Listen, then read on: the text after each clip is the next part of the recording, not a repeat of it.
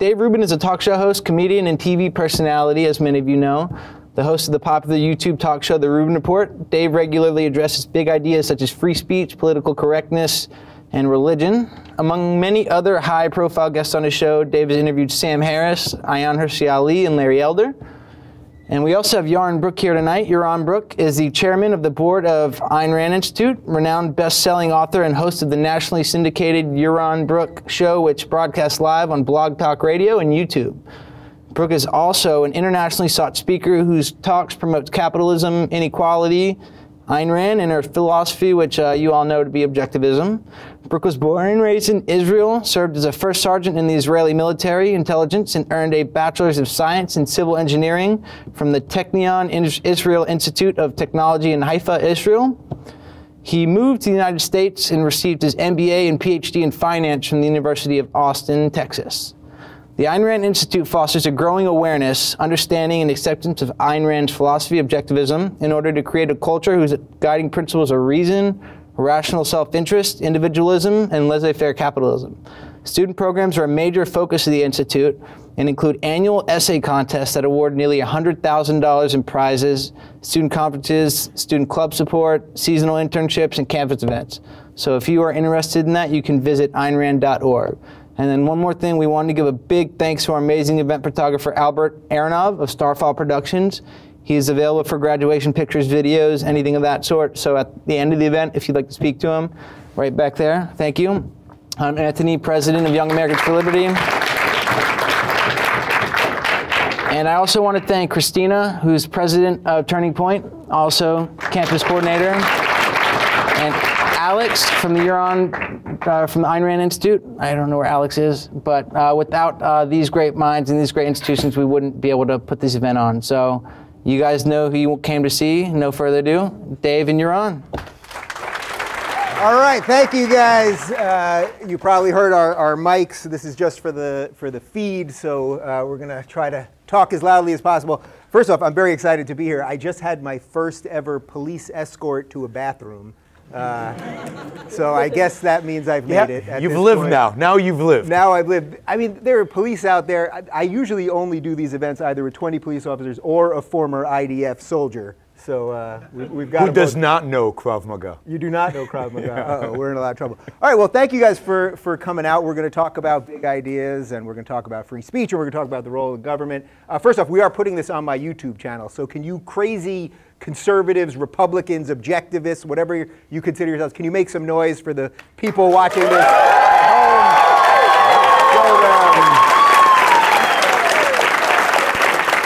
Wow, I'm impressed. All right. Very impressed. Wow, I'm actually shocked. I, I, mean, I recognize a lot of you guys from some of the uh, the events through ARI and, and Turning Point that I've done lately. So it's just amazing to me that for as as crappy as everything seems on college campus these days, you guys are out here to talk about ideas. Uh, Yaron and I had a, about an hour in the car earlier to, to do this. I think we've already given this, the talk to each other. We're really open right now. We're willing to kind of take this in any direction. We're going to try to push and pull on each other a little bit, but we don't really have an agenda here. Uh, but I think originally this was set up to be about, about limited government.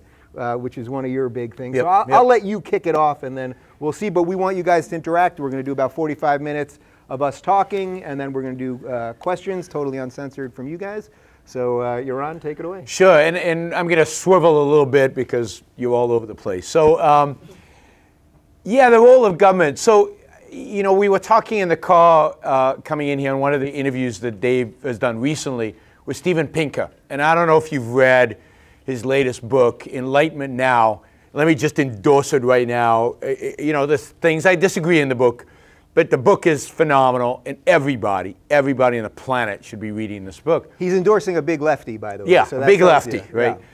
And one of the things that Pinker uh, identifies is he, he, he goes through a whole series of chapters where he tells us how good life is right now on planet Earth. It's never been better. And he's, he's absolutely right. Life expectancy, poverty rates, uh, hunger, all of these things. We're in a better situation today than we ever been before. And he identifies the cause of that. And the cause, he says, is basically human ingenuity, ideas the application of human reason in solving problems. Now, how is this related to the role of government? Because you ask yourself, what kind of environment allows for the thriving of human reason? What kind of environment allows for ideas not just to be thought of, but then implemented in reality and brought into existence? And what you realize quickly, and if you study the history, this is exactly what happened, is that for ideas, for people to come up with ideas, for people then to implement ideas, to, to, to make them a reality, they need to be free. They need to be free. You can't have it when the Catholic Church is telling you, oh, no, no, the sun goes around the earth, it doesn't work the other way around. You, you can't have it when some autocrat tells you what to think or what to do, what business you can open or what business you can't open. You need to be free, free to think sometimes ridiculous ideas that fail, but then you fail. That's okay. But for the successful ideas to work, people have to have the freedom to try them and to go out and do them. And then, so freedom of what, right? Because freedom is a word everybody loves, right? Nobody's against freedom, right? But freedom from what? Well, freedom means freedom from coercion, freedom from force, freedom from authority. And if you think about what that means, it really is the concept that the founding fathers described as individual rights. Rights really are the recognition that each individual is should be free, free from coercion, free to live their life as they see fit, free to think and to speak and to act as they see fit, as long as they're not harming other people. They have the right to pursue the rational values necessary for their own existence in their life. And therefore, what the only role of government, as I see it, is to make that freedom a reality. And to make that freedom a reality, what we need is to, is to extract force when we get together, to, to make sure that you guys, you know, this is why we have the police here, right? Don't attack me because of what I'm saying. Right. That's it. So we need freedom from force so the role of government is basically that. It's to guarantee that we can say what we want to say, do what we want to do, and otherwise leave us alone. So police, a military, and the judiciary. And that kind of environment is what fosters the kind of creativity that is made and, and eh, it, the, the, the, production that has made this world such an amazing world.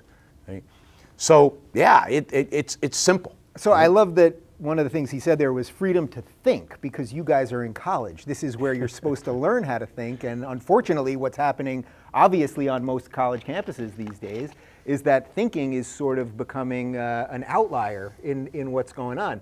So it's interesting. He references, Yaron references, Steven Pinker's book. Steven Pinker, again, as I said, he's a lefty. I think he would probably say he's a progressive who would disagree with you on virtually every political topic.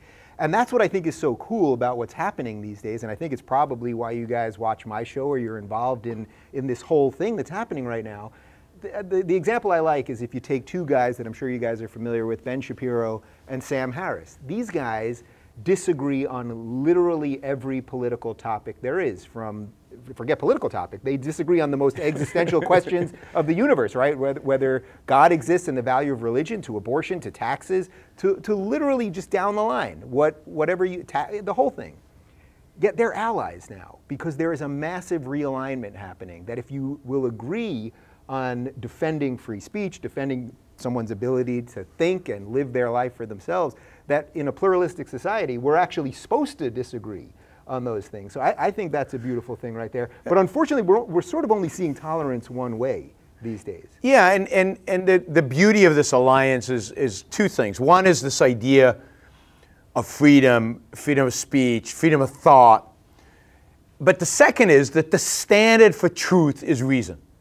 That reason is the way in which we communicate, reason is the way in which we deal with one another, it, you know, it's not my God versus your God and my revelation versus your revelation. No, even if you're religious, like let's say Jordan Peterson maybe is, nobody's actually sure. Yeah. Maybe even Jordan, maybe even Jordan's not exactly sure. Well, I'm going on tour with him, so there I'll you go. You will yeah. find out maybe. Yeah.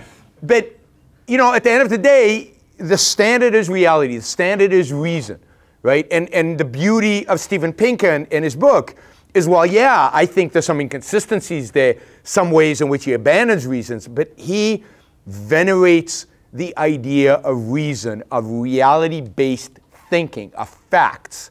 And the same on, on many issues, Ben Shapiro, right? Even when we talk about politics or whether there's a disagreement on politics, we agree that the standard should be what is true, what is actually in reality. But that, that's why I think there's something actually special going on here. I mean, if you look here, right, we've got the Young Americans for Liberty. This is a, a, libertarian organization, obviously. Turning Point USA, a lot of their, their main guys are Trump supporters. You're, you're not a Trump supporter. Uh, that's I, an understatement. Yeah. that's an understatement. I voted for Gary Johnson, and I should be judged accordingly. I mean, Gary Johnson, by the way, he is the first person that actually ever made me question whether weed should be legal or not because the man could not remember anything. Um, it's true. But, but this shows you that there's a diversity of idea happening right now on what I would say is basically the sort of center right, basically.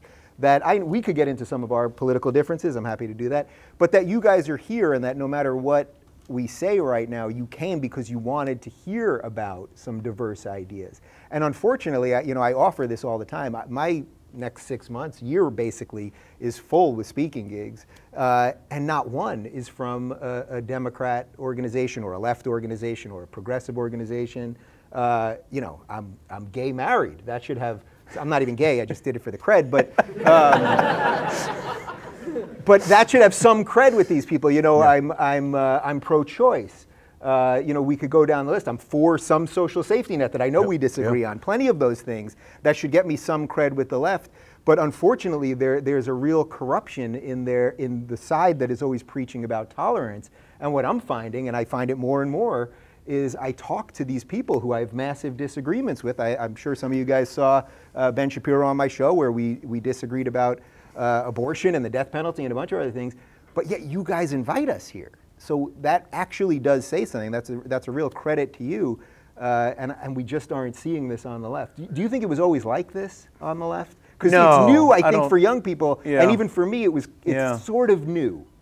I don't think it was always like this on the left. I think the left was better in the past. I think I think the left, indeed, in many respects, the left was better than the right on the issue of free speech and the right was actually oppressive of free speech for a very long time. So you're talking and, about Berkeley 30 years Yeah, I mean, certainly if you go back to the 60s, and but, but since then and, and, and before the 60s, there was, a, there was definitely a, a sense in which the left was much more open to new ideas. And look, you know, I, I think you're more positive on the right than I am. Yeah. Because, because, you know, so if you went to CPAC this last year, and there was a speaker at CPAC who spoke about, who was from Cato, the Cato Institute, and he said some positive things about immigration.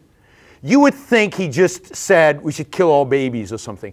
The, the room exploded, they booed him, they tried to get him off stage, and many of the people in that auditorium would have shut him up if they could have done it. So I think, I think we, we're a little too uh, you know, too positive about the some people on the right. Mm-hmm. I, I, mean, I was at an event just before the election in Chicago, and this was this was like everybody was over 65, it was like a Tea Party group. And I was on stage and I said something positive about immigration. I, am very positive about immigration. You can ask about that.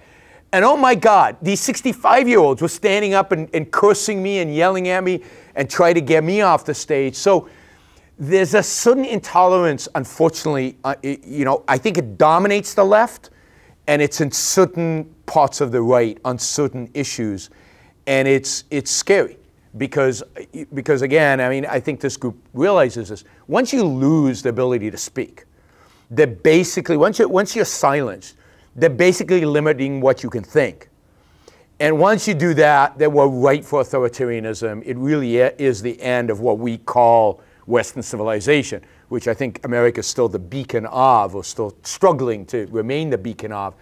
It, it, this is the issue of our time. There's no more important issue. And this is why this coalition has come together. Yeah. It's because this is the most important issue I can think of is the issue of free speech. It, it trumps immigration, welfare, politics, any of these other issues. If you can't speak, then you can't think. And if you can't think, it's over. I'm curious, how many of you guys saw just in the last couple weeks the amount of articles from Vox and Salon and, and all the usual players who were sort of mocking the, the free speech fighters. Did you guys see that? You, you, know, we'll do, we'll do some of this by applause just so the people at home can get it. Did, did you guys see those articles? Yeah. I know you don't want to applaud those articles specifically, uh, so that, that, that was a little weird, I suppose. Um, uh, but I thought that was really interesting that suddenly, and these again, and you may be right that I've been a Yeah. little too easy on, on elements of, the, of, the, of the right when it comes to this. You know, I, for me, it's like I come from the left. So when I see the right, when I see these the race realists or these people that want America to be a white state, or to, to me that is so ridiculous, and they have no institutional power, and they're they're a bunch of true racists, not the way that racism is thrown at you guys or at us. Yeah. Uh, so to me, those people aren't even worth thinking about, or even it's, it's just irrelevant. So, but perhaps you you may be right that I've I've given them a little bit of a slide there. But what I would say is, it's interesting to me that suddenly in the last couple of weeks, there's been this push on the left media to mock the free speech people, the Yep. very people who will defend these ridiculous organizations like Salon and, and Vox to, to print these usually awful things. Uh, I'm sure many of you guys saw the articles written about Jordan Peterson in the last couple of weeks. Yeah, everyone's nodding. And it's like, Yeah, I mean, I we'll, find we'll, it- we'll defend their right to do it. I mean, that's the irony. Abs- on the barricades. I mean, literally on the barricades. And you know, I find it interesting that they they get microaggressed, I guess, or, or, or they find offensive Yeah. Certain things that we say. Yeah. Oh, by the and way, yet, we, we have a room of puppies in Yeah. case any of you are offended by any of the hate speech up here tonight. and cuddly teddy bears, just in Yeah, case yeah. something live scares you. Yeah. Um, like a puppy. But you know, but they can they can go after Jordan Peterson, offend him, misrepresent him, or misrepresent Ayn Rand, or misrepresent me, and we're not. We, we don't. We, we I get aggressed. I mean, I get you know I get triggered. And nobody cares, right? What about me, right? You can insult me, and there's like, if I say something on about about them, oh my God, they're so sensitive, but they feel complete, no problem insulting and, and really being violent Yeah. against us, and we're supposed to just take it. Now, let me just say something about this left right. I think one of the reasons I'm sensitive uh, in, in terms of more critical of the right is because I'm perceived as a member of the right, and Ayn Rand is perceived as, a, as, as belonging on the right. And, and, my, and, and I don't want to be, I don't want to be associated with Donald Trump. I don't want to be associated with some people on the right. So when people write, like Salon does often, uh, Trump's Ayn Rand cabinet, right? I make a special effort to make it clear that there's no relationship between anybody on Trump's cabinet and what Ayn Rand really meant. So I am much more sensitive to the nonsense on the right because people want me to belong there. I don't believe I'm on the left or on the right. I, you know, I think we're like on a, on a slightly different a- dimension. yeah. So I'm, I'm clearly much more sensitive about the right. And I also think, I mean, that's a whole other question. I also think the right, there's a certain danger there as well. But Yeah. All right. So, and I also, you know, as I'm sure many of you guys have seen, I think these labels are getting Yep. increasingly meaningless, left, right. I, I'm sure if we polled all of you guys, that your political opinions would be all over the place, and that's what it's supposed to be. That is what freedom is supposed to be. It's not supposed to be ingrained into a political party. But as I saw all these articles about about free speech, and and you know, they were supposedly putting out polls that you know students are more tolerant than ever, and then if you actually read them, it was that they were just intolerant of racist speech, which of course is insane because they label everything they don't like racist. So uh, it doesn't quite work. But just by, again, by applause, which is a little bizarre, how, how many of you on campus here have been afraid to either say what you think politically to a friend or a faculty member or in class or anything like that? I know it's a weird thing to applaud. wow. Wow.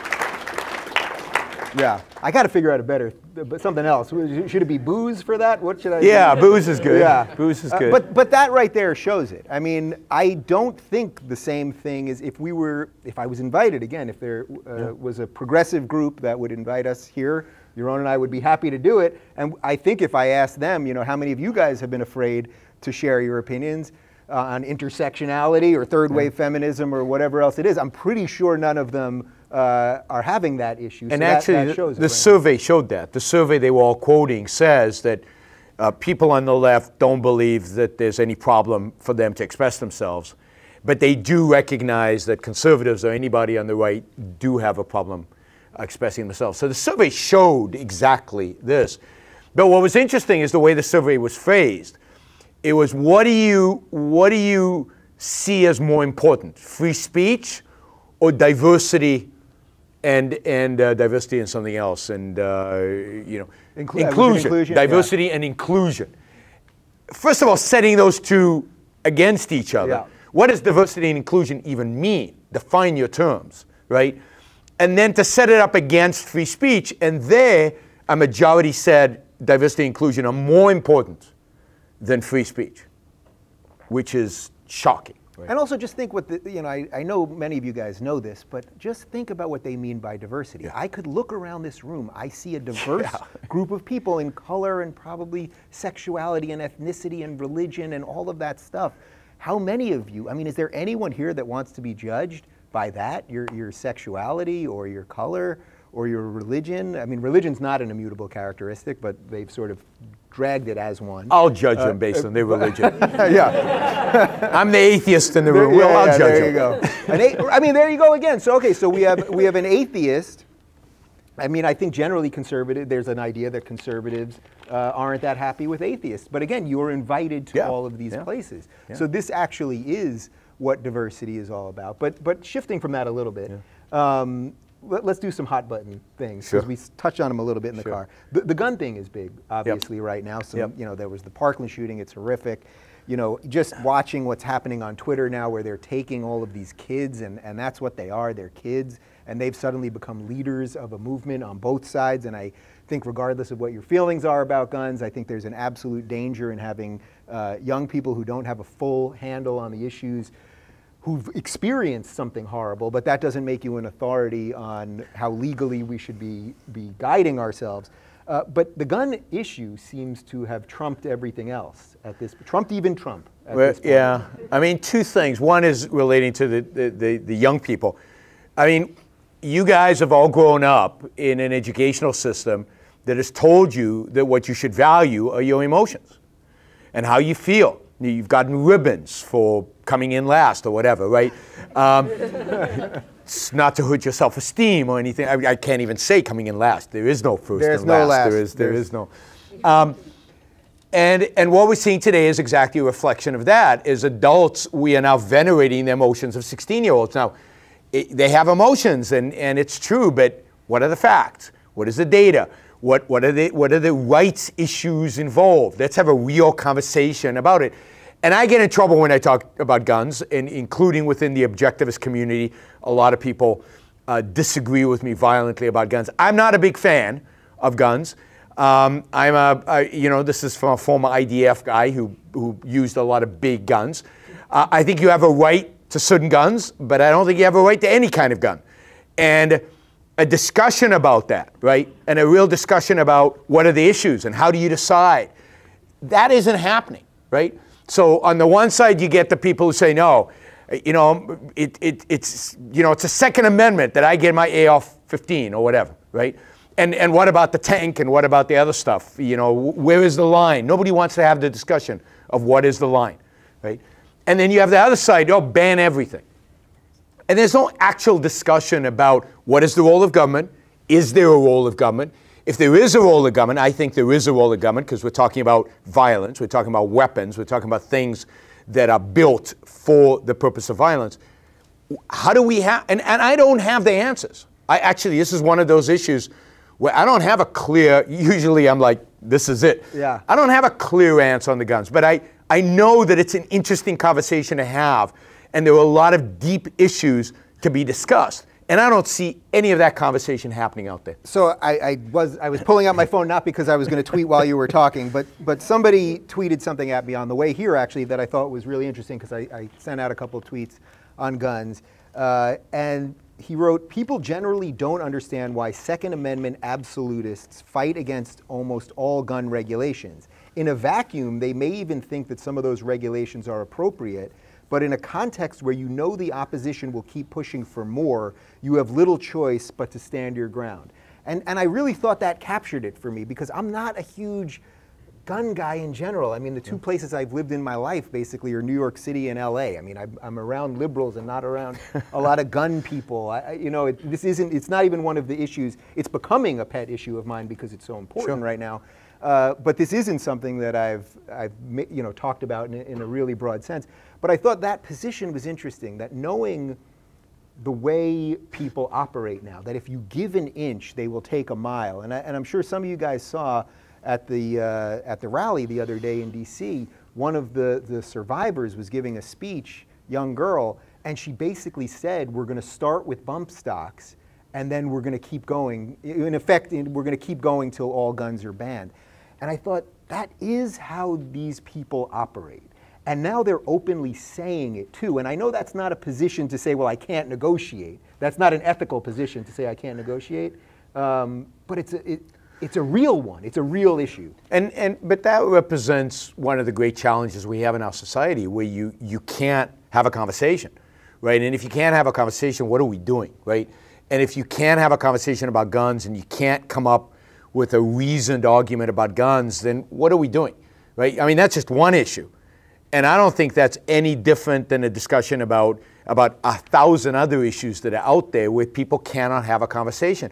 So, so what's happening is we're becoming tribal, right? There's the gun guys who are all going to get together and they're going to be radical, you know, all the way because they don't want to give an inch because if they give an inch, something will happen. And then there's the anti-gun people, and that's it. And and and where do we go uh, from that perspective? What is again? I think what loses is reason. What loses is is the ability to actually have a discussion about an issue and think about it thoroughly and deeply. And we're becoming tribal on, on almost everything, right? It's, it's what are these guys, you know, I belong to this group and they belong to that group and, and no, no conversation. Now, look, there's certain issues where I am, I'm going to stick 100% in my position, but it's not because, um, it's not because I would moderate that position if I thought the other side, no, because I think it's actually true.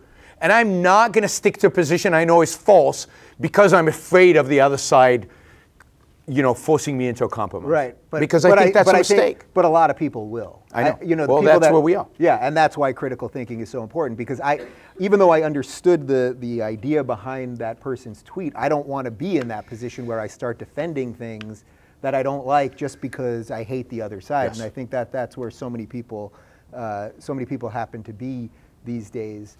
Um, you know what? I'm going to let you pick the next topic because we, we said we'd, we'd bounce back and forth. What, what else is on your mind at the moment? Wow. I mean, there's this, I mean, right now on my mind is probably, I mean, the thing I talk about mostly right now is trade because of what, because of what, what, what Trump is doing, which I think is, you know, is, is bizarre and absurd and, and ridiculous. So you know, I don't. I mean, it's not fair because I don't know that you've, you know, you have a position no, or thought about it. Yeah, we could. But, I, but yeah, go I'm ahead. a YouTuber. Go, I've yeah. thought about almost there you everything. Go. That's right. I mean, come on now. It's Dave Rubin because he's thought about it. I'm sure I can take trade and make it into a demonetization topic Do it. somehow. I will be able to. What are the chances we get monetized right now on YouTube? What do you think? We talked about guns, so probably. We, oh, right. So yeah, we're, that, that's we're already. We're as already, long as guns are not in the title, but but they, you know they run the algorithms and they find guns and you're off. So. Well, you know what? Watch, watch. I'll make the move there. I'm curious. How many of you even think that the YouTube situation and the Facebook situation, so demonetization, tracking you guys, all that. How many of you think that that actually, maybe second to free speech, as Yaron laid out, is really the issue of the day? How many of you really think that that's that one you didn't applaud for, but you all raised your hands? Okay. Yeah. Uh, yeah, so a lot of you do think so. So, so I, this is something we disagree. I don't know if yeah. we disagree on. So no, I think we agree on, but others in our. So uh, so I think I think what YouTube is doing is awful. I think what Facebook does is awful. I think all that stuff's awful, and I think it's their right to do it. I think it's their property, it's their business. They created it, and if they want to mess it up and they want to screw it up, or if they want to exclude me, then they have every right to do that, right? And and it's up up to us and we you know to, to come up with an alternative. To you know if you know uh, uh, I forget who the entrepreneur started YouTube is but he created something and Google runs it and they own it and they get to set the rules. And if they don't like what we say or they don't want to demonetize it it hurts but they have uh, you know so I actually think that Prager suing YouTube is really really bad for the cause of free speech. It muddies the water about what free speech really is. It, it, it takes away this differentiation between what is public and what is private. So I, am with Yaron on that, and I, you guys, I think, know my feelings about Dennis Prager. I love Dennis. Yep. Have, you, have, you, ever done any events with him? I mean, he no, gladly. No, no. All right, well, let's see if we can make that happen. I'll yeah, see if I can. That'll be interesting. All right, that'll be I, interesting. I'd love to facilitate that, though, and I, and I, think I probably can. I did an event years ago with, with we were both on a panel together, and it, yeah. it, it, it got heated very quickly. All right, but yeah, but that, that that's what it's all about, right? So I, I agree with your premise there Yeah. that these companies can of course do whatever they want. I tweet this constantly, and then people always say to me, "Oh, a libertarian who's saying that why are you complaining? You're not supposed to complain because you don't want government involvement." And I say that's actually the you're making the reverse point. Of course, you're supposed to use your voice in a free society to hopefully influence these companies. Uh, I feel like I'm gonna that's gonna be the one that I'm gonna have to just tweet for the rest of my life till. Uh, till Well, and we should stop using Twitter if we're that offended. Yeah. I mean, if we really think that Twitter's doing something horrible, then the best way is to boycott. I mean, we had this conversation on your show about what to do about the baker, right? So I believe that you should have a right to discriminate uh, uh, about anything, right? And not just t- towards gays, but towards people you don't like or anything. No Jews allowed is, is, is I think, okay to put up as a sign in your store. I don't think anybody should go into that store. I think we should all boycott, right? Yeah. And I think that's the appropriate way in which we deal with a business that does something you don't like. But they have a right to do it. It's their property. I have a right to invite anybody I want to my home. It's my property. And believe me, I have very strict, or put it this way, my wife has very stringent criteria. But who gets invited to a home or not? yeah, I've And- never been invited to your home. well, you're, you're invited. My wife likes you. Yeah, but um, in Puerto Rico now, and Yeah. you can ask me about Puerto Rico if you want, but because I live in Puerto Rico now. Um, but He hates taxes. I hate taxes, yeah. What's going on there? Yeah. so you have a right. All right. Yeah, there was, First applause we got tonight. Yeah, there you go. Hating taxes. So, a- store, my business, is just an extension of my home. It's mine. That's what it means to have private property. It's mine. And I have a right to do what I want with it, including be stupid and irrational and suicidal and discriminatory and evil and bad, as long as I'm not punching somebody in the nose, even a Nazi. As long as I'm not punching somebody in the nose, I have a right to do it. And the way to deal with that is to boycott those businesses. And ultimately, if we really get to the point where Twitter is, we will boycott Twitter and we'll find a solution. I, I really believe in all of our ingenuity to be able to find ways around these businesses. They will not dominate us. so I have a slightly different uh, point of view on this, but but I think it's a rich place for a conversation. So look, I- you know, I did my PragerU video, and I've talked about why I wouldn't force the government to force the baker to, to make the cake, right? You can get a cake elsewhere. Uh, I would say that, you know, one of the things that we still have in this country, at least for now, is the foot vote. we, we have states' rights, and if you don't like something that's happening in your state, you can go to another state. This is a beautiful thing. If we, if we did not have that, you'd have to leave the country. Or you can come to Uh, Puerto Rico. Or you can go to Puerto Rico. I'm not. uh, Do they have any gay bakers in Puerto Rico? I'm not sure, but I don't think they've heard of gay bakers in Puerto Rico. Probably not. um, but I, I personally would not have the baker, the government force the baker to, f- to provide a specific service. Now, you're actually taking it a step further because what you're saying is it's not about a specific service. Like in this case, it's a, it's a cake that maybe he doesn't normally make. So that's a specific service. You're saying, actually, if he doesn't want gay people to be in his store, he doesn't have to be. Now, we have the Civil Rights Act of, I think, 1964. Yep. Uh, Yep. And that 64. ele- 63 or 64? 64, right? I think. 64, okay. Yep. It was Uh, Johnson. which that uh, forced businesses not to discriminate based on, on color and, and several other characteristics. I'm okay with that because at the time there was so much discrimination and so much inequity, Yeah. and there were still laws on the books in different states that allowed for it. That this is an odd case where I think the federal government did the right thing. Where I think there's an interesting libertarian or objectivist argument to make against that in 2018, which I think is your argument. So I would say that certainly the federal government had a role in 64 to play, and, and I support most of the, of the Civil Rights Act. Um, and they suddenly had a responsibility, a moral responsibility, legal responsibility, constitutional responsibility to make sure that all the states got rid of whatever discriminatory laws they had. That, that's what the Civil War was about. And if, if 100 years later we still have to fight that battle, it's horrific, right? The federal government has a responsibility to make sure the states are not in a significant way violating individual rights and discriminating by law. But I don't believe the federal government or state government or any government has a right to impose their will on my private property. And even if you could make an argument that you needed a corrective action in 1964, which I don't support, I don't support because I think once you do it, it's a slippery slope, and you get the baker. You get you get these situations. It, it- there's no way to avoid it. And not only that, but you get the situation where the government today can tell me who to employ, under what conditions to employ, what, who I can fire, when I can't fire. You know, today there's ageism and there's a million isms that determine who I can fire and hire. You know, I could be sued in California if I fire somebody who's older mm-hmm. because it's ageism or something. You know, so there's no end to that, and that is the slippery slope of the 64 Civil Rights Act. So, but even if you assumed, okay, you needed a corrective measure in 64, okay, it's gone. I, enough is enough. And I also think that a lot of the rise of the um, of the racist right today mm-hmm. um, is a consequence. It's a backlash of the identity politics of the left, which in, and all of that is institutionalized into the Civil Rights Act. So affirmative action is a racist policy. It's a racist policy, whether it's corrective or not. It's racist.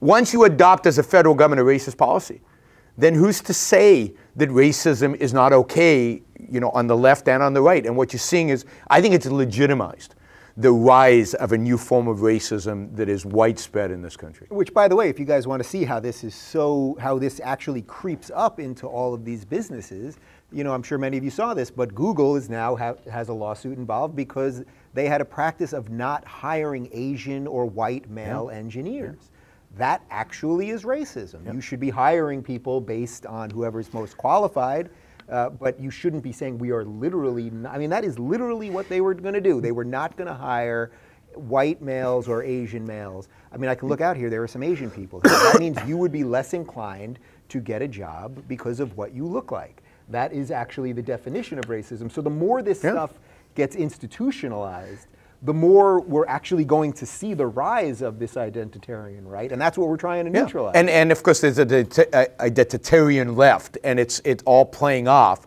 and I think it really gets legitimized by the '64 uh, uh, Act. And look, Berkeley. Berkeley does the same thing. It, it, it doesn't take more Asians because I think 40% now of Berkeley is Asians. Yeah. And they've like said, enough, we need diversity. So in the name of diversity, they're taking less qualified students in the name of, of this diversity thing. So, no, I, I, I think it, I think the, the 64. I mean, I, I supported I support I, you know I was alive then, but very little, so I didn't support Goldwater. But Ayn Rand supported Goldwater, and Goldwater w- agreed with most of the Civil Rights Act, except that portion that that that basically intervened in private property and created affirmative action. He was, you know, he was Goldwater was not a racist. So he, he believed that, you know, we should get rid of any kind of institutionalized racism. But you don't get rid of institutionalized racism by creating reverse institutionalized racism. That just perpetuates the racism problem. I, I feel like we should talk a little bit about how this also crushes creativity. Because I'm sure many of you saw this. Peter Thiel is taking his companies and he's leaving Silicon Valley. He's leaving San Francisco, right? I mean, the guy's worth about $4 billion. He can't even afford to live there anymore. I mean, that, that's, a, that's a real problem. I thought that was funnier, no? That, no I, thought was, I, thought that was, all right. Um, but, but I think what he realized there is that this, this diversity memo that was forcing him yep. to either hire a certain way that wasn't based in qualification, what that will actually do to creativity. I think, I think Ayn Rand certainly had a lot to say about this. So well, again, it's, it's freedom. What, what creativity depends on is, is, is freedom. It's the, it's the idea of coming up with whatever ideas, using your reason, being judged based on the quality of the ideas, based on the truth of the ideas, but not based on the color of your skin, not based on whether you're a woman or man, not based on any of these irrelevant criteria, but just on the quality of what you are creating. And you can't do that anymore, right? You, you, you can't talk in some of these corporate environments, particularly in Silicon Valley, about anything outside of the box, anything that doesn't fit into some frame of people who call themselves leftist, I guess, who, who, who and, and, and, look, I love Silicon Valley. In many respects, I think Silicon Valley is the model for America. I mean, they're the hardest working, most creative, most innovative, most exciting people in the planet. But isn't that the irony? It should be a libertarian yes, haven, right? it should be. Or it secretly is, I think, is possible. I think, I think they're more kind of free market, free thinkers in Silicon Valley than give it credit for.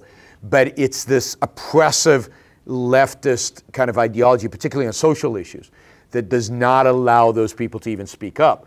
Uh, now, you know, you know all the Google memo, the Damore, uh, uh, you know. Now, I don't necessarily agree with what was written in the memo, but the memo was pretty lame. I mean, it was pretty uninteresting, right? He said some stuff that a lot of evolutionary psychologists that I don't necessarily agree with say. It's, it, this was not radical, it was not crazy, and yet he gets fired for, for writing something that, yeah, a lot of people could easily disagree with. But, but that's a great conversation to have about the difference between men and women is a fascinating conversation to have. Even if I'm saying this, I'm dreading the idea yeah. of actually having that conversation because yeah. it's so scary, right?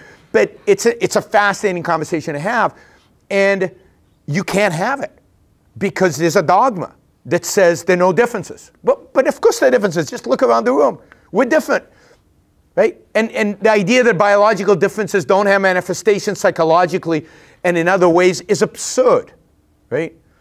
So, but we can't, you know, if I said that in front of certain audiences, you know, third wave feminism or yeah. whatever, they, they come after me, right? Well, what's even more dangerous about that is that Google asked James to write the memo, in effect. You know, they were all sent to these courses and they were asked, well, what do you think about this? Let us know. And I'm sure, I don't know the numbers, but I would venture to say that 90% of the employees that went to these things probably never did what they were supposed to do. They probably went there, probably were tweeting half the time and went to sleep. And then this guy actually listened. He goes, this is a problem at this company. Yeah. I'm going to do what I'm supposed to do. I'm going to respond. He then sent it out privately, by the way. This is one of the biggest misnomers yeah. about this And he situation. wasn't fired when he sent it out privately. No. And then someone else leaked it. He wasn't looking for attention. He, I mean, he did exactly what the company told him to do. I believe this was the end of August. Yeah. By the way, he had just been given a promotion for good work in June. He was fired by what, October or so? Yeah, he was fired because of the public pressure on Google. It wasn't even within Google. I mean, some people within Google clearly wanted him out. But it was the outcry among, among the the, you know, the, the people who supposedly count in Silicon Valley, the diversity chiefs at all these organizations, that really got him fired. It, it wasn't even, while he was just in Google, nobody seemed to really care. And by the way, did you guys see this other thing a couple months ago? I think it was YouTube, but somebody correct me if I'm wrong. There was a, an Asian woman who was hired as the diversity offer, uh, officer for YouTube. Yes. She said that she wanted diversity of thought, and that includes white men and then she was forced to step down in a week. I mean, really think was it YouTube? Am I, she am literally said she wants diversity of thought, and that it, it, she didn't care if it was a man, woman, Asian, black, you know, whatever the thing. She just wanted diversity of thought, and she thought that good thinking wasn't associated with the color of your skin, and she was fired for that. I think it was YouTube. Yeah. I think it was go- it, within Google again. Okay, I'm getting, I'm getting, a couple now. Maybe not. no. Oh, it was Apple. It was Apple. Okay, no, you're right. I don't think it's Apple. No? No, but it, was, it, it might not have been YouTube. Anyway, I'm sure the you YouTube can Google commenters will be very friendly to us on this error. Yeah, you know? somebody is tweeting you right now they're, they're correcting, always, they're correcting our mistake. But yeah, it was definitely, she was definitely, that's exactly what she said, and, and she was accused of that. So there's a poli- there's almost this this, um, and it, and it's not a majority of people. I mean, I, I I know lots of people in Silicon Valley who don't believe any of this crap, right? But there is a it's a it's the culturally important people in some way, right? Yeah. Who who guide this, and they're intolerant. They're intolerant to any view that is not fit their view of the world, and it's it's horrific.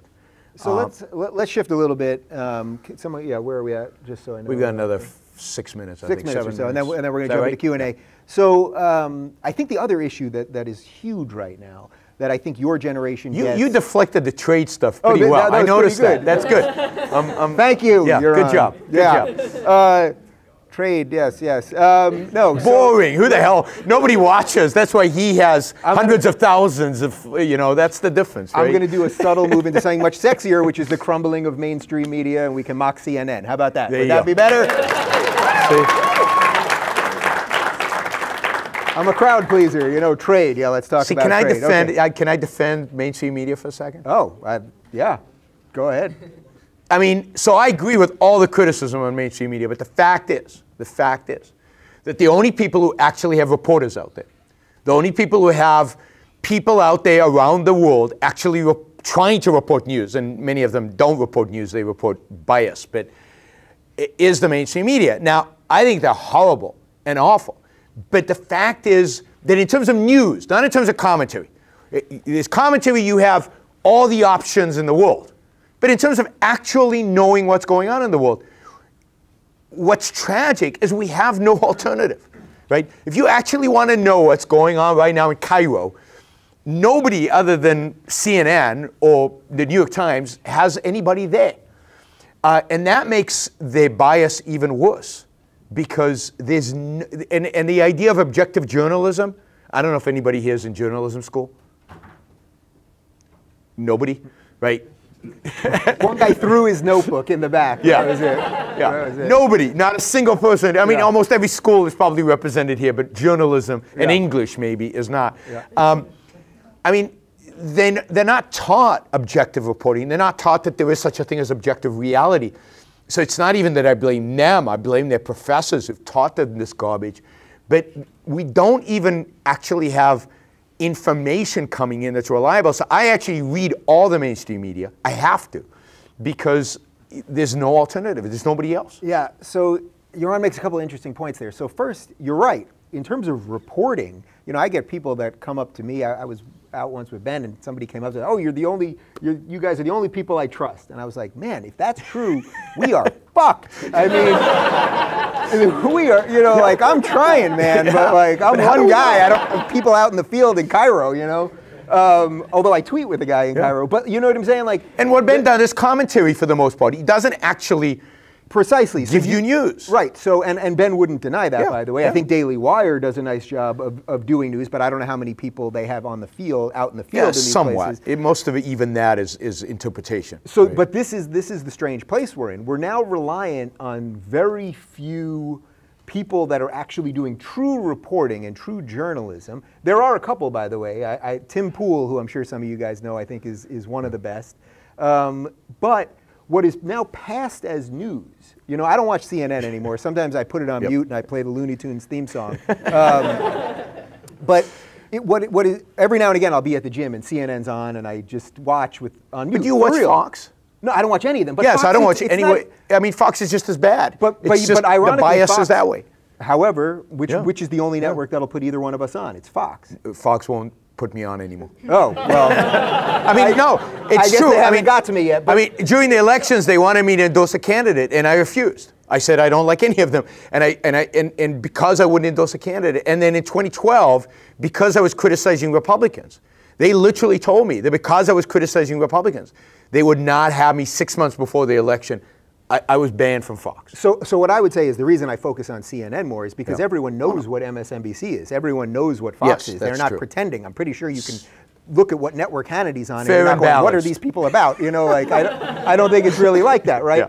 Yeah. But but CNN is pretending. Yes. And I think that that's the bigger problem because you can watch virtually any show on CNN, and what they're passing as news really is 24 7 Trump hysteria. And I'm obviously sitting uh, next to somebody uh, who shares some of those views. But that they're trying to gin us all up into some Well, for very different reasons, Yeah, for very different Very reasons. different there. But but that they're trying to gin us all up into caring about things that don't matter, uh, as opposed to caring about the things that do matter, which is why you will never see conversations like this on CNN. You, the, the amount of traction that a guy like Jordan Peterson, who's get, getting by talking about psychology and telling you to clean your room, is it, my room has never been cleaner, by the way. After spending some time with this guy, um, He still needs to work on me, obviously. yeah, yeah, you could clean up your room a little. But, but that is what's happening here. There is a disconnect between the people that are supposedly giving you news and what you guys are realizing the truth is. And the fact that there's about 20 of us that seem to be trying to offer a defense on that is, is actually scary to me. And my, my view is this has been going on for a long time. It's just people have just realized it. But, but I remember 20 years ago, CNN was just as biased as it is today. Just people didn't realize it. There wasn't this uh, uh, counter. I, you know, I don't know how many of you ever listened to BBC.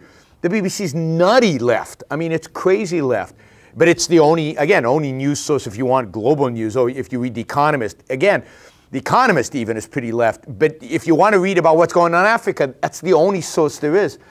And, and the left has dominated the news sources throughout. And they bias. So I listen, I don't watch any television. I, I, I hate television news. I can't stand I tend to start throwing things. Fox, CNN, CNBC, doesn't matter. I, you know, it, there's something visceral about the image. But I listen to NPR. I listen to NPR a, a lot, uh, although in Puerto Rico less so. Um, partially because it's just, you know, in Puerto Rico is just relaxed. You know, who wants to listen to NPR when you're relaxed? Yeah. But, and I, I, I actually find them really good because they're intellectual. They, they, they report stories nobody else reports on. They're biased. They're obviously biased. I've now got a bias radar and I correct for the bias whenever it comes across.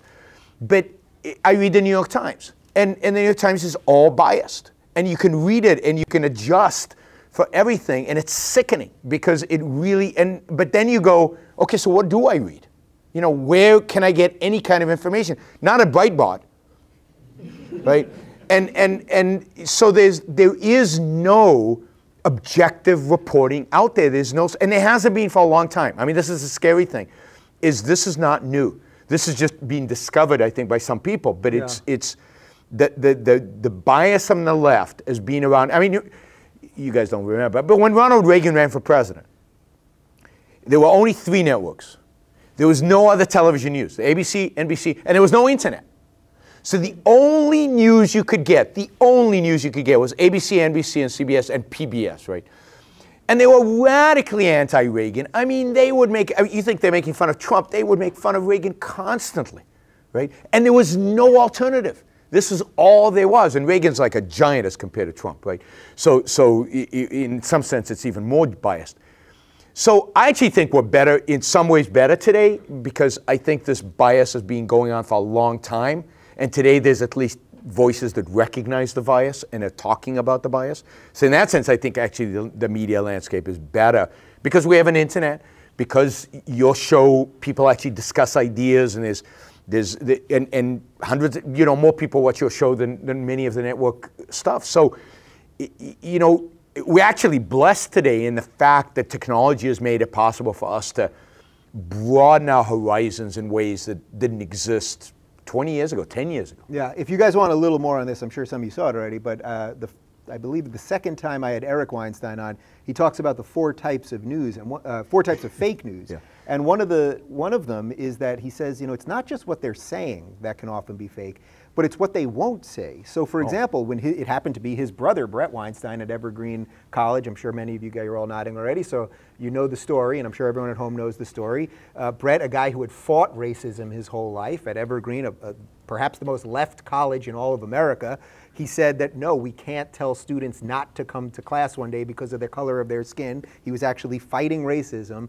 The Times did not report on that for weeks and months, and yet at one point had written two or three op eds about it. So they didn't want it to be in their news section, but then they could offer it a very tepid defense from a sort of liberal op ed position. And that also is a type of fake news if they just sort of ignore one position. But, you know, but just to just to be, you know, just because we haven't touched on any controversial issues, I mean, just think about the Middle East, right? If Israel, in, in some context, shoots a Palestinian, that's front page news all over the world. Um, if Egypt bombs what they call terrorists in the Sinai and they kill hundreds of people, it doesn't make a single news agency. Nobody knows that Egypt has been bombing the hell out of the Sinai for the last two years, trying to eradicate ISIS from there. Put, it, put aside whether it's just or not. The very fact that they're doing it, nobody cares, nobody reports it, it's completely silent. And there's so much of that going on in the world. We only know, we only hear about a tiny little sliver of what's going on. And, you know, one of the things I think uh, Steven Pinker, again, if we can end, maybe we can Yeah. end on Steven. One of the things he points out is we never hear about the good stuff.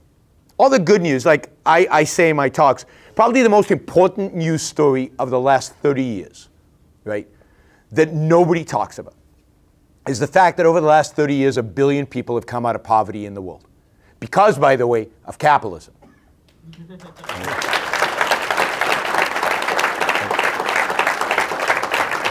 And New York Times, New York Times doesn't report that.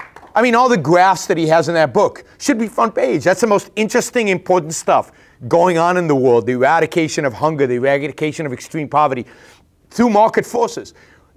And nobody reports that, but we hear every little thing, like every, you know, violence is at an all time low in the United States right now, right? But every little murder, particularly if it's committed by a illegal, you know, immigrant, is reported on immediately. Right? Again, depending on the media source, who reports and who doesn't. And that is so tragic because we don't actually have an objective view of the state of the world or what's going on in the world or what are the real dangers. How many people report about free speech issues? Right? How, the New York Times doesn't yeah. cover that. Well, the guys that do seem to be Salon and Vox and, yeah, and the rest of that market. uh, all right, that seems that seems like a fitting ending. I, I, would say this just to to put a cap on it, which is that it's up to you guys. Like the yeah. pressure is truly on you guys. You know, like you guys live. You're going to college in a incredibly unique time right now these issues, I mean, I was smoking pot and playing Sega Genesis for four years in college. I wish in a weird way. I wish I had paid more attention. But, for, but I was a political I science major, so you were before pot, I guess. Um, but but you guys are truly at, at, at school at an incredibly unique time because the things that you're thinking about are the exact same things that everyone, your parents, your grandparents, everyone you know, everything is up in the air right now. And you guys truly, I, I'm not saying this to pander, like I would not do what I do if I didn't think that there was a chance we could correct this thing. But the only way that guys like us can be a little part of the correction is if we have more people like you. So I thank you guys for yep. coming out. Give a big round of applause to the you. people at home for watching.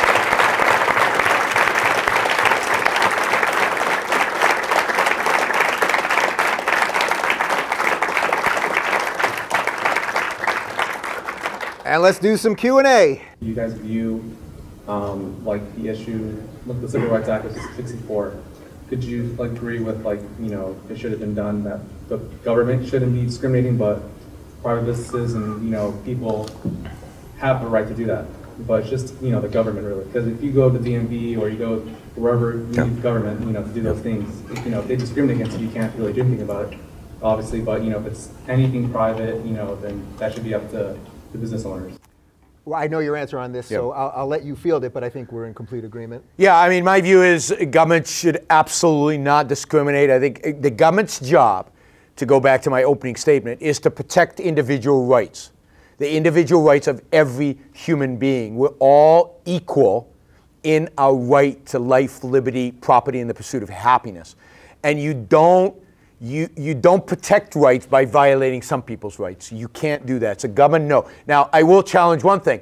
I don't think the government needs to do the DMV. I don't think the government needs to do 90% of what it does today. So we can, we can privatize all that. Uh, but, but yes, uh, government should never discriminate. That is a real evil that needs to be fought. We weren't going to do a whole Ayn Rand uh, event without someone saying get rid of the DMV, were we?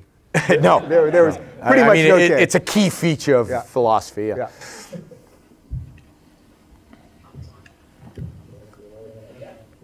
I um, am an anarcho-capitalist, but my question is fairly easy. I would hope so for Mr. Yaron Brook. Who is John Galt? At the end of the day, anybody who takes his own life seriously, anybody who uses reason to guide their life, to make their life the best life that it can be, and rejects the altruistic guilt and the, the, the unreason that dominates our culture can be a John Galt.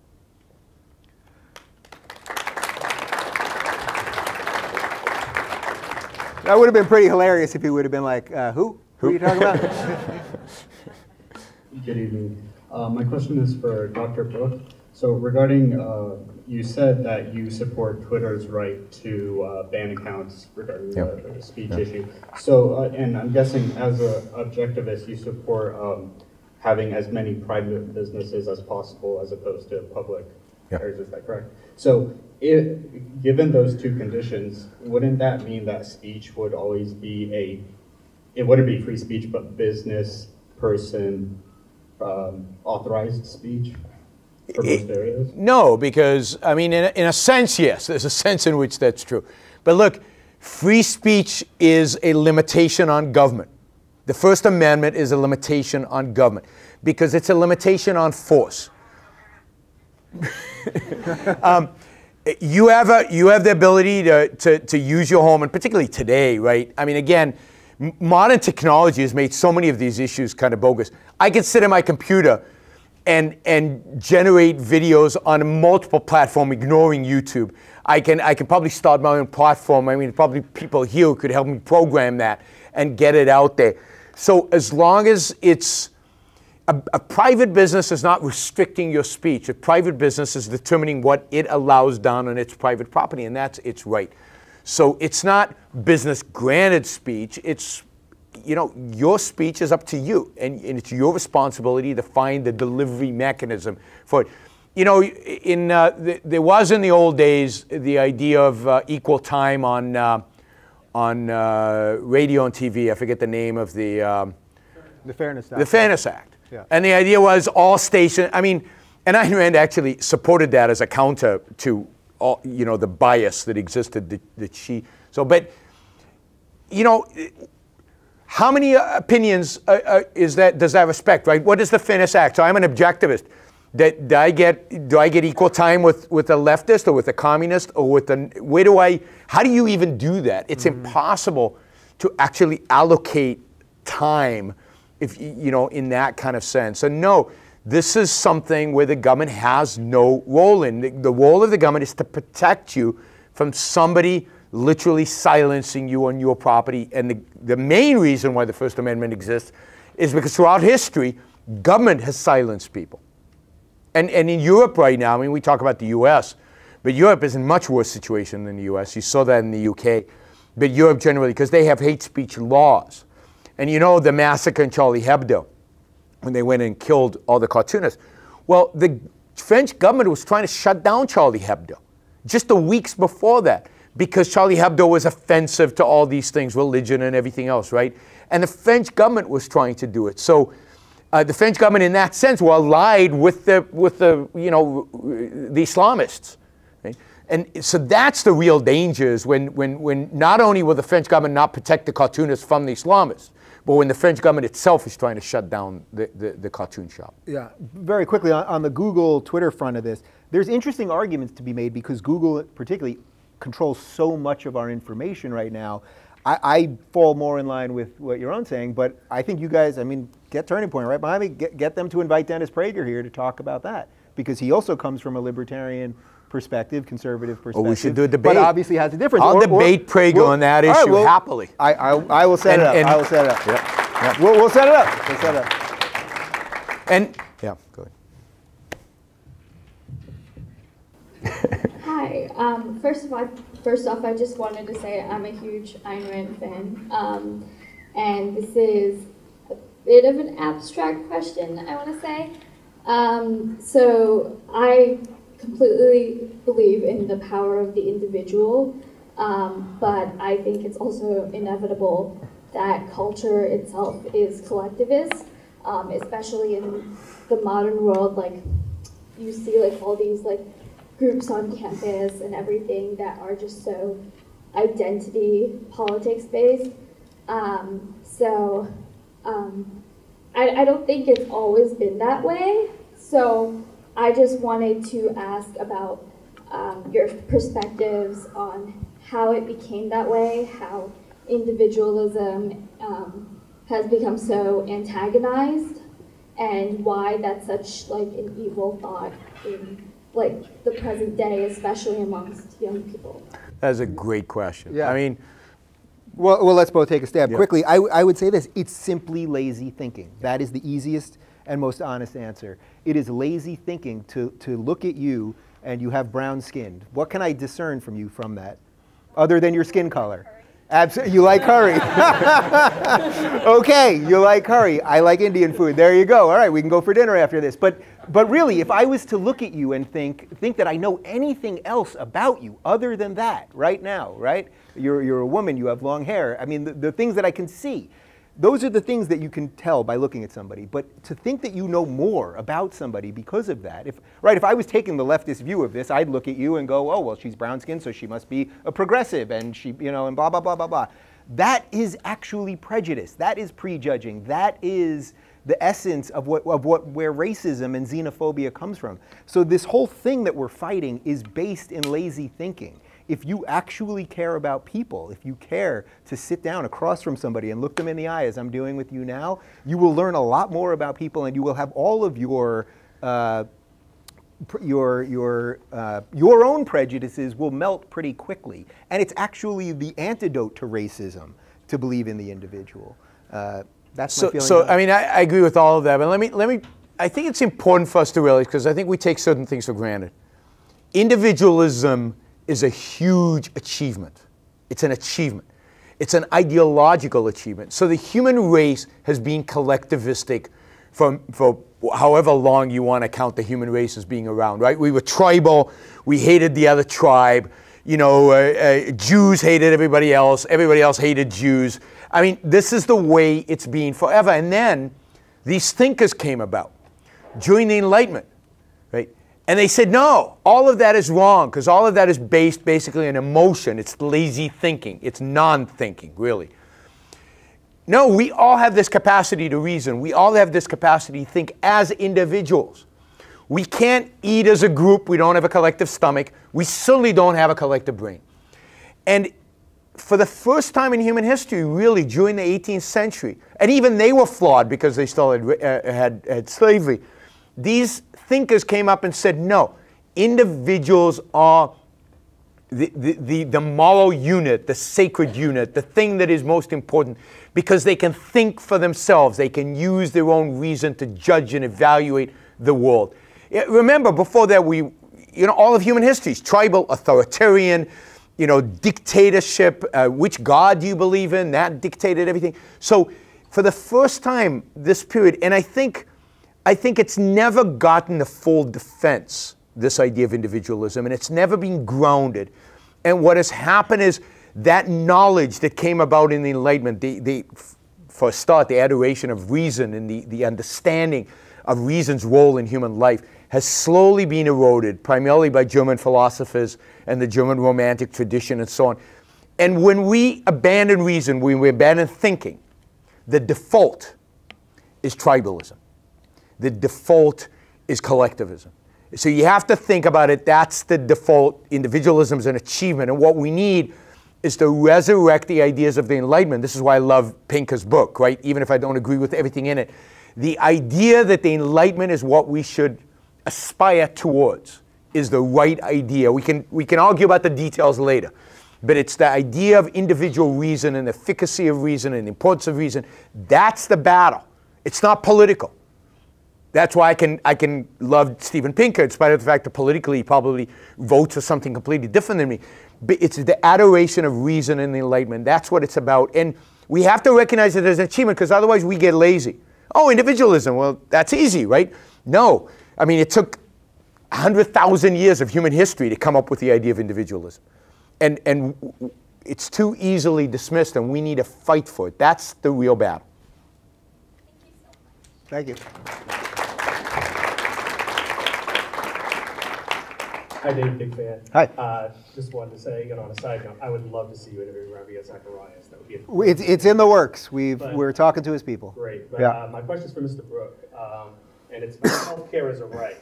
And I've been certainly wrestling with the subject. Um, the counter argument, of course, is that um, to make healthcare a right requires the coercion of either directly of the healthcare provider or indirectly of the taxpayer and therefore it is tantamount to slavery and that one cannot um, have a right to enslave, that to exercise a right, if you must, if you have to infringe upon somebody else's right to do it, it can't be a right.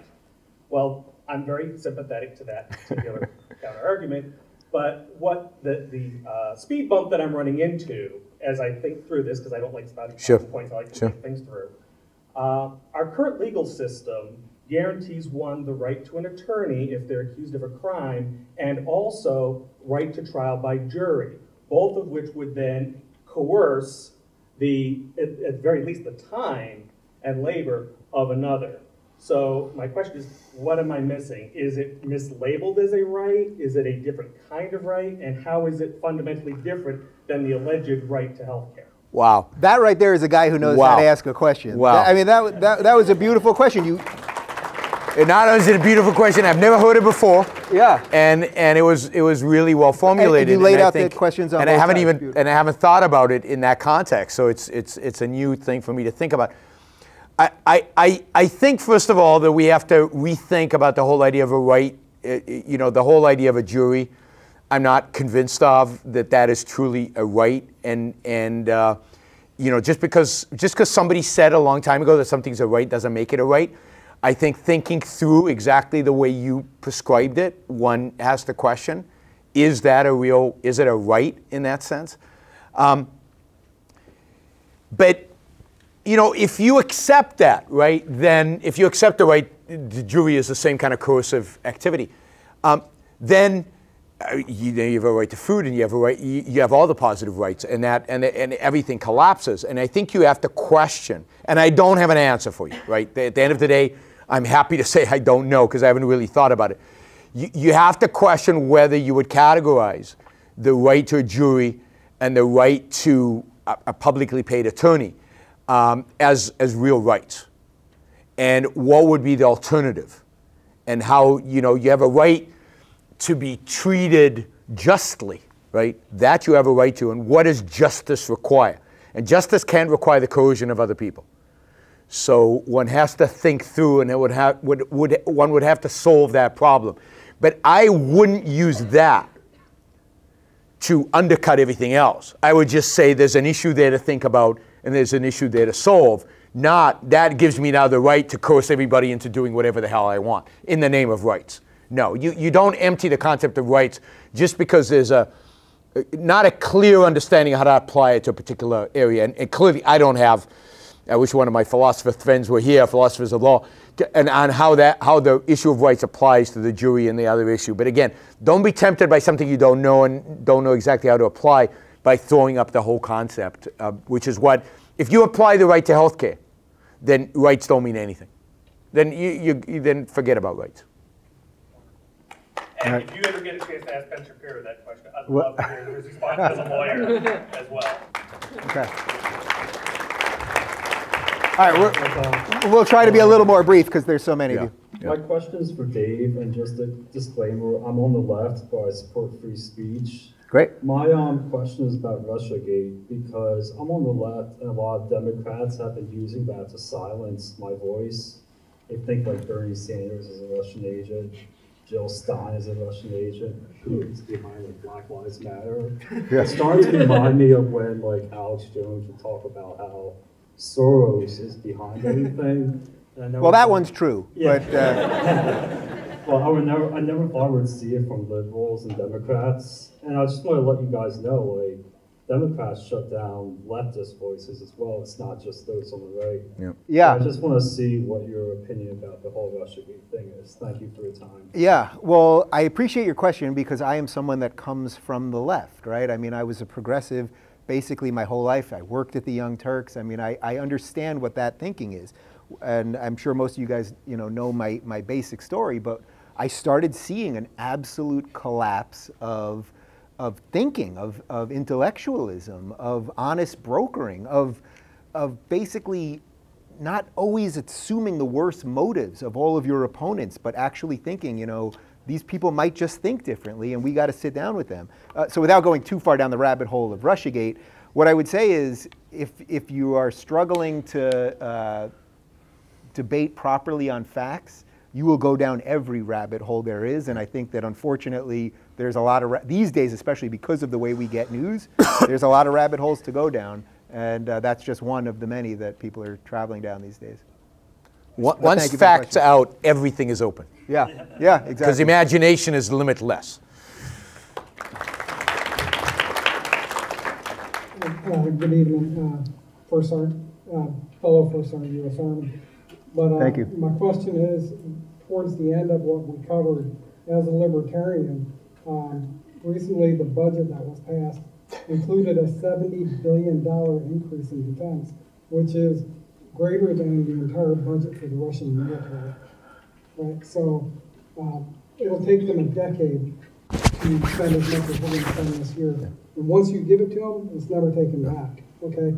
And that story was not covered in the press at all, okay? So a seventy billion dollar increase And as a libertarian, you know, uh, uh, that's one, is how can you justify giving that amount of money for defense? And I know defense is important, right? But the other question is, is uh, how come YouTubers and other sources of media are not covering that story? We're gonna, uh, it has come to the point where DOD has said that our budget deficit is an existential crisis. Yeah, well, first off, thank you for your service.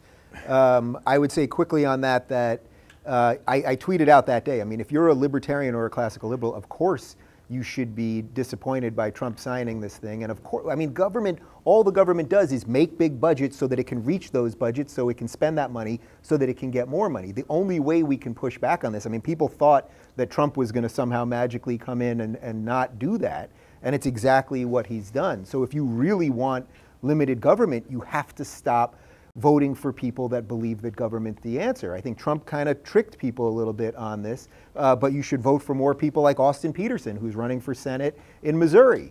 Uh, yeah, I love Austin. I mean, that that's the only thing you can do. I, I, very quickly on the YouTuber part, I you know I don't think there's some sort of grand conspiracy. I mean, I'll, I'll, certainly talk about it more on my show. I would have loved to have seen something that would have been a 20. I, I mean, just naming a number, 20% cut across the board on everything. Guess what? The government will still function. You know, and if the post office closes tomorrow, I'm pretty sure Amazon could figure it out. So there's, but but everyone's afraid to say, well, we're going to have to do some of that stuff, and let's see what happens. And I think Yaron would say that the private sector could step in in almost every case. Yeah, in, in almost everything except the military, because I think that is a function, a legitimate function of government. And I do talk about the fact that our military budget, as is, is way overblown. If we actually let the military win wars uh, instead of building so-called, you know, building societies, building democracies, and we've got troops in 120 different countries. Not 120 different countries are not a threat to the United States.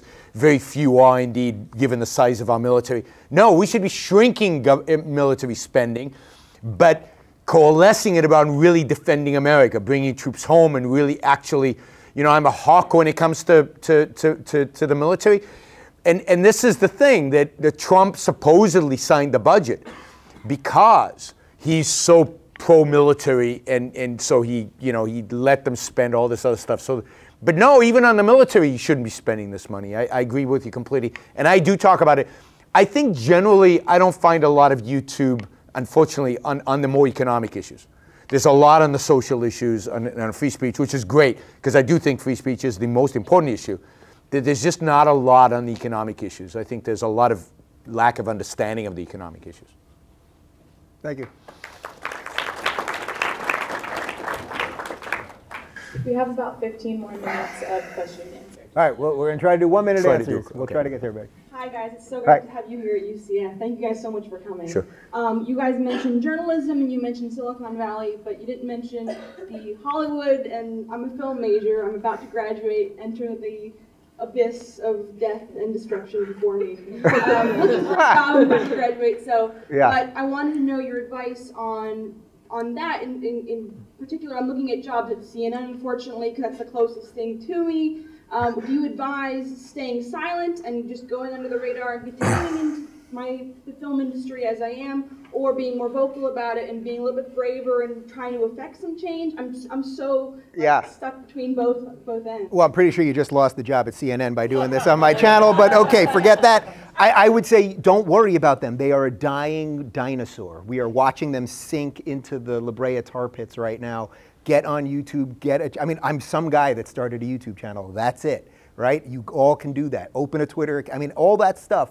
Get on there, start making great films, put it out there, tweet at me. If it's good, I'll retweet you. I mean, that's really it. You don't need them anymore. They're dying. Let's let them die and figure out what comes next. And don't, and believe me, at how old are you, 19 maybe?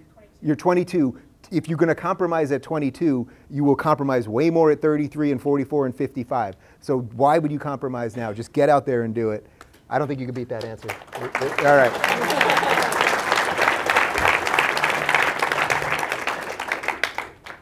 So uh, with free market, there tends to be some sort of uh, compulsion in the grand scale of focusing on capital gains as opposed to potentially positive social movements. For example, mass media covering like the bad news as opposed to the good news. Um, in terms of YouTube kind of censoring the stuff that may cause worry. Is there a way for the free market to practically solve that, or is just kind of an issue of there are alternatives such as Vimeo, but they tend not to be as effective as YouTube. So is there a free market way to address such an issue? Yeah, I mean, I, I think if things get bad enough on YouTube, then alternatives will arise. I, I think that, that people with money right now trying to think up of ways to, to, to, to fix it. Uh, I think I think as long as human beings want more negative news than positive news, they'll be provided with more negative news than positive news. The market is not there to fix our cognition and to fix our desires. It's not there to fix in that sense. Now, we can advocate for fixing if we change this audience. And the audience wants really good news, the media will provide that. So um, you can't expect the marketplace to fix social problems, although I think it does. You know, I think discrimination and stuff like that can be fixed by the market. But ultimately, it has to be an intellectual force. So the fact that I'm for free markets doesn't mean I think free markets are everything, right? I still think that they're going to be people like us advocating and speaking and arguing about issues because I think, I think intellectuals shape the culture. I think they dominate the culture. And uh, you know, they function within a free market, but that is not, you know, I don't know that J- John Locke would have been the best paid public speaker in the world. Yes, he was the most influential thinker of the Enlightenment. So it, it doesn't exactly call it. I mean, I think Ayn Rand was the most important thinker of the 20th century. Nobody would know, nobody thinks that except me. So, you know, I'm, I talk about that, I advocate for that. Uh, you know, hopefully over time, I'll build a market for that. But it, it takes time. It, you know, these things take time. See how quick we can do as many of these as possible. Yeah. So, uh, earlier, you guys talked about boycotting different social medias such as Facebook, YouTube. um, so when things are that big, there's right now there isn't really a whole lot of competitors for them. Um, and also, uh, on top of that, if a lot of conservatives start boycotting these, wouldn't it just create more of a bubble where conservatives are in their own bubble and liberals are in their own bubble? And then we never get to talk. We never get to talk uh, to each other via social media. Yeah. Uh, we don't get to have a discussion anymore. And then on top of that, you know, I don't exactly know where you would go with something as big as Google. Bing exist, but when people talk about Bing, they don't say they're going to Bing something. They just say they're going to Google something on Bing. You know, right. So, uh, so what do you what do you think is a an answer to that other than boycotting? I mean, there's a couple things there. First, I think you're right that if all, and you see this sometimes in the, the new conservative free speech site, you know, or, or social media thing. Yes, there's a risk there. If all the conservatives leave and then Twitter remains and it's all lefties, there, there's a problem there. What I would say, and, and Yaron just alluded to this, there are, I, I can't get into all the specifics, but there are major discussions happening with big time money people in Silicon Valley right now trying to solve this problem. So if you feel that you don't want Facebook to have all your information or you don't or you think Twitter's shadow banning people or you're not happy with YouTube videos not going out to feeds, then use those sites or don't use those sites. But in the meantime, I, we're just in complete agreement that the market is what has to solve it. And it's just going to be a little messy. So that the things that you're worried about probably will kind of happen. But eventually, I think it'll, it'll present itself. I'll just say this quickly. Life did exist before Facebook. there was MySpace. Uh, that, that just shows the difference in age. Yeah, yeah. There's an era even before MySpace. But it was yeah. Friendster. Yeah, Friendster. wow, you guys got Friendster reference. Wow, all right, that was pretty good. Okay, Go great. Um, I'm the chapter leader of Citizens Climate Lobby here in Orlando, and I've heard both of you speak about climate change. I have a question about that. Well-defined property rights are the foundation of market forces, and the market allocates resources efficiently to some of these market forces. What about when property, right, property rights are not well-defined, like in the atmosphere, which we're allowed to use like a free dump? Um, how could the market, or what should the government do to make the market correct that problem? I'll just give a one-liner on this. I just did a show that we shot last week. It'll be up next week about some conservative solutions to environment, so definitely check that out. Uh, but I'll let you answer. I mean, I would say that nothing. The government should do nothing about it. And if it's a real problem, then again, education is important. Let's let's educate people about that. People will change their behavior if they really think there's a danger and they really think there's a threat. I think the problem with the climate change debate is primarily the solution being offered. The solution being offered, don't use carbon fuels, is a non solution. It's a non starter, it's stupid, it means death and destruction you know, if, if, if there really is a problem, and, and again, I usually take a neutral stand. I'm not a scientist. I don't want to get into that debate. If there really is an issue, let's be creative about finding solutions to it. Suck CO2 out of the atmosphere. You know, spray something into the atmosphere that, that dissolves the CO2. I don't know. I'm right, but it can't be what I know because because I'm alive. You cannot ban fossil fuels. That is a that is a that is a, an anti-life answer. And as long as that's the answer the, the, the, the environmentalists present, then forget about it. They, you know, they can win, but their winning means the destruction of civilization as we know. Uh, yeah, we gotta, we gotta move. Thank you, though. Thanks. Hello, Jerry. I'm fan, and Right, uh, thanks. hoping that if, later, if you're available, I'll get a picture. Yes. But uh, my question is for um, Ron Brooks. I know you're a former IDF. Yeah. Um, and um, I also have been to Israel, and I noticed that open carrying is not is very common over there. Um, and even the fact that, that guns are not prohibited in schools in Israel, and you don't really, I don't hear any news of mass shootings, mass school shootings in Israel. And so I want to know what your perspective on, is on not arming every teacher, but those teachers that are experienced um, with firearms in order to have the right to Yeah, protect I mean, people carry openly in Israel if they're really, really well trained. So you don't. Israel is not does not have liberal gun laws for just everybody. If you you know, but then everybody goes through the army. But even going through the army doesn't guarantee that you're well trained. Those people who are really well trained are the ones who you see open carry, and of course in Israel you see security guards everywhere because there's security guards everywhere. Um, look, I think the school shooting debate we're having the wrong debate. I don't think school shooting is about guns.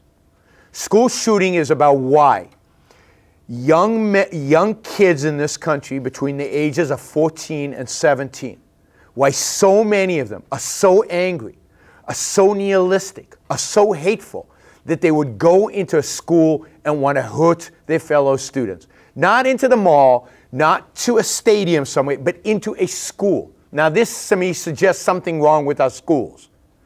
So I think we need a debate in this country about education policy, about, about what government schools are doing to our kids, why there's so much nihilism. And partially, I think this relates to Antifa and relates to the violence that's out there. There is a real nihilistic streak. Jordan Peterson talks about this a lot in our young people, in your generation. Why? I think it's because of the educational system. I think it's because of government schools. And I think our government schools are training young nihilists. They're causing people to become nihilistic. That's the problem.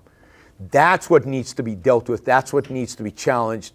And yes, short term, if you want to put a security guard there, if you want to arm a teacher, if they're well trained, if they know how to use, sure, I don't have any problem with that, right? But I don't think that's a long term solution. The long term, and, and the thing nobody wants to talk about why are these kids so angry at their school? I mean, think about the mentality of wanting to kill everybody, not a bully. I can understand a kid being bullied and taking a gun and wanting to shoot the bully. No, everybody. And you know, the Columbine kids wanted to blow up the school and kill 2,000 people. They, they had bombs. They didn't work, luckily, right? The bombs didn't work. And it's not about guns, right? If they don't have guns, they'll have bombs. So it's about education. And I, what I want to have is a real discussion about progressive education, about government schools, about whether schools should be privatized, about all of that. That to me is a thousand times more important an issue than guns. Guns is not an important, one way or the other, in my view. Now I know a lot of people disagree with me on this, but one way or the other, I don't think guns matter. If they took, if they took all our guns, it doesn't matter. And if we kept all the guns, it doesn't matter that much. What matters a thousand times more is what's happening in our schools.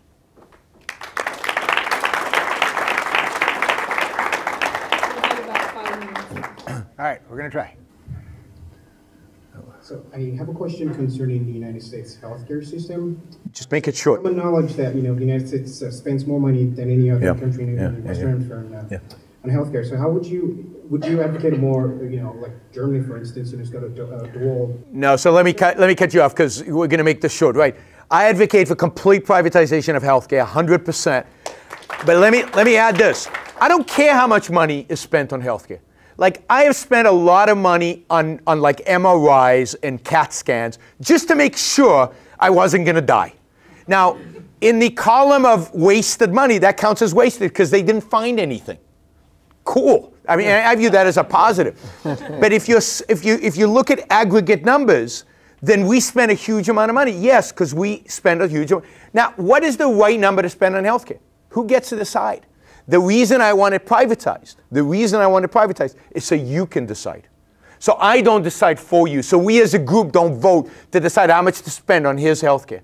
I want every individual to decide how much is appropriate. Some people will spend a huge amount. They'll get MRI every year. They'll check, and some people will say, I, I don't want to spend that much. I'm going to spend less. And if you had real free healthcare, free market healthcare, you'd have a variety of different insurance policies and a variety of different options that would be that would categorize your preferences rather than social preferences. All right, let's do 30 second answers. All right, we're going to do 30 try. second answers from I don't here on know out. We're going to try. 30 seconds. I'll I've never met 30 seconds. on guns. Um, firmly, I'm on the firmly side. I'm firmly on the side of very pro-gun. I don't believe in any firearm regulations. And you expressed desire to have the left and the right kind of come to have a national discussion on legislation for firearms. But what we see time and time again is anytime there is legislation, it's not pro-liberty, it's anti-gun. So why am I coming to the table if I know the outcome? Can you honestly tell someone like me there's a chance after coming to this table that legislation is going to go in the right direction? If not, why am I coming to the table? So this is sort of what we addressed earlier about if you give something, are they just going to? Yeah, I mean, I just think that we should have a discussion about it. I, am not even concerned about legislation. Look, there used to be a, a semi-automatic. There used to be a ban on certain guns, and it went away. So you actually won one battle Uh, in that discussion, right? It went away. I, I don't know. I'm, I'm not I'm admitting I don't know what the answer is exactly, but you know, the idea that you should be able to own a tank delegitimizes your right to own a, a, a, a sidearm. And the idea that we should nobody should have any guns delegitimizes their position. The position is somewhere in between. I, I disagree. I agree with ownership of tanks. Yeah, I know you do, but that but that's all right. But well, that's we'll a fundamental disagreement. As somebody who's actually been in one, shot one, blown stuff up with one, I don't. Yeah. Hi. Um, concerning the education system in the United States, do you think that should be handled by the federal government? Some people say that when it was with the states, there were better results, or should it be completely privatized? Uh, we could quickly do. Uh, for me, it would be about going to the states and as local and local and local and local as possible, and with as much choice as possible. I believe government is essentially coercion, and government is essentially a gun, and I don't believe guns belong in schools, uh, and therefore I don't believe government has any any role in education. Now, I would be willing to concede that in a, in a transition period, and it could be a long transition period, government funds education, but government should never run a school. Whenever government runs a school, it is corrupting. So uh, I like education saving accounts, which Arizona is, is experimented with and, and Nevada is experimenting with, where the government funds, but you get to choose what form of education your kid gets and where it's given, whether it's on the internet or in a private school. But it should be 100% privatized. Thank you. Unfortunately, this is going to be our last question for the night. Oh man, you, she's tough. We would we would stay. yeah, we yeah. would stick around. We'll, we'll take some selfies after though. Uh, good evening. With the prevalence of folks out there like Mike Gallagher, Dennis Prager, uh, those type of folks running the conservative discussion, have you noticed that that kind of stifles out your voices as people that don't really fit into a conservative box but have more conservative allies in terms of free speech? Uh, for me, I would say no. Actually, the, the PragerU video that I did is literally their most watched video ever. Dennis and I have a couple disagreements about politics, but he's running basically a, a conservative website, and, and not only have the most watched one, but I just shot another one a couple weeks ago that I think will be out next week or a week after that. So I think, and I'm pretty sure you would agree with me, that for the disagreements we may have with these guys, uh, that there is an absolute willingness to talk it out and agree to disagree and also agree to i'm friends with a lot of these guys you know what i mean? I mean ben shapiro is not thrilled with gay marriage but you know i've had dinner with he and his wife with my partner. I mean it, it's fine. And i think that that's a more overriding thing. So i've seen some some movement on the on the conservative side intellectually that i'm happy to keep talking to them about so, so my experience is a little different, and, and it depends on who we're talking about. So certainly, some people in the religious right, and I and I do think Prager belongs there, um, are intolerant of certain views, and it's certainly Prager's, so far at least, being intolerant of anything to do with Ayn Rand, and it's been pretty explicit from his perspective. And I think that's true of, of a number, quite a few people on, on the right. Uh, so I'm, I'm less positive generally about the right than, uh, than Dave is, but uh, because I, I, I, have seen that intolerance, at least towards me and my, you know, people who, who agree with me. And I also worry, and this is again part of my perspective of the right, I worry that the right gets associated with religion, right? And and to me, you know, I'm an atheist, and I think it's and I don't think atheism is irrelevant to the discussion. I think it's I'm like I'm more on Sam Harris's side on this issue. I think atheism, this question of religion, is an important question. I think it needs to be resolved. I ultimately I think for Western civilization to to exist, we need to have that conversation, and I think we will win. Um, so I, I, think I think I worry about the dominance of religion in the Republican Party. I worry about the dominance of religion on on the so-called right, and I do see some intolerance on that side to uh, not just to the atheism, but the the, the, the, the, kind of atheism that I bring, I think, you know, maybe a more strident uh, perspective on, on these kind of issues. Um, and you know, and, and, and I take the abortion serious, the issue seriously, and I probably disagree with many of you on abortion, and I'm with Dave on abortion, and, and, and, and there's a number of these other issues that I think where we really do clash, and there really is an issue. Um, ben Shapiro it, it seems to be an exception to that. He's really open to discussion and debating and, and having a conversation about it. But we'll see where all of this goes. I think this is fascinating what Dave has managed to do, and, and I really give credit to Dave here is he really has, through his interviews and through the network that he's created, he's created kind of, an, um, um, in a sense, an umbrella of people who are interested in debating serious ideas and having real conversations about deep issues. And it's to Dave's credit that this is all coming, because I don't think it would have happened by itself.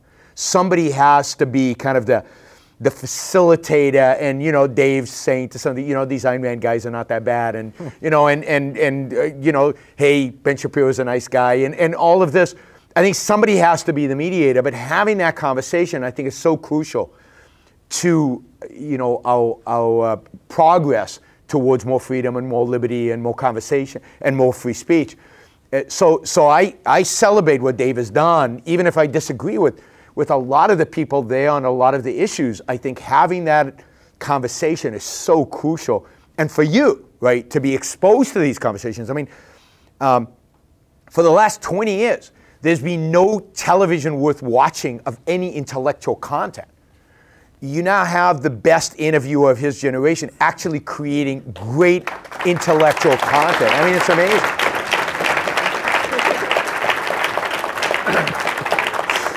He actually right, well, blushed. He uh, actually yeah. blushed. That I'm a little young for a Lifetime Achievement Award, but but you guys are an incredible piece yep. of, of everything that Yaron just said. Uh, so I thank you guys for coming out and defending free speech and open inquiry and critical thinking and all that good stuff. Uh, we have a dinner to go to right after this, but we'll hang out and, and say hi to a couple of you guys. And I'm sorry we didn't get to all the questions. And now make some noise for the people at home so that they know you guys are all here. Thank you guys. Thank you. Cool.